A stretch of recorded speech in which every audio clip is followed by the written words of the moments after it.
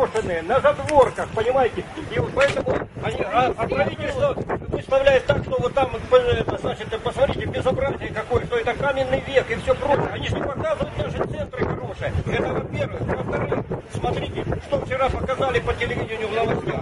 Э, Сказали, что Беларусь единственная, единственная республика, которая сражается в одиночестве, чтобы прозрачно. Вот Россия не хочет, никто не хочет. Вчера-то это было сказано.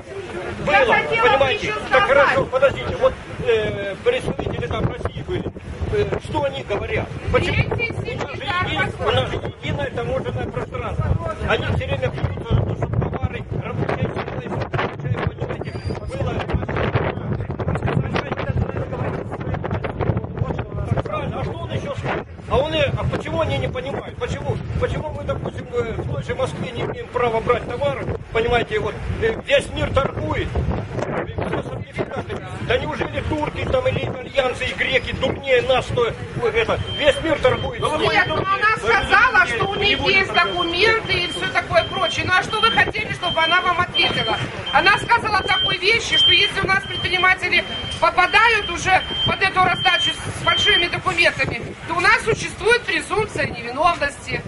Мы на примере уже видели, Полякова, известный предприниматель, попала под презумпцию невиновности, раскатали по полной программе. Полоцкая ЛП сегодня, сегодня совершился. Опять же, где презумпция невиновности? Признали вина, вина- вин- виновной. Так вот, что нас ожидает, если мы выйдем работать по этому Конечно, указу. конечно. Кстати, Кстати, вы обратите внимание, что вчера в передаче по ОНТ было конкретно сказано, что создается база липовых контрагентов. Ну, я так по простонародью говорю, да?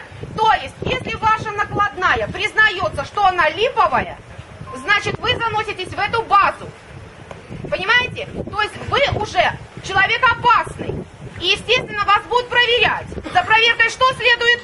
Конфискация и штрафы. Тройное наказание вы сразу. по липовым документам, они вам тоже сказали, что по липовым документам вы не сможете работать. Смотрите, а как может предприниматель знать, он какую он накладную взял или это?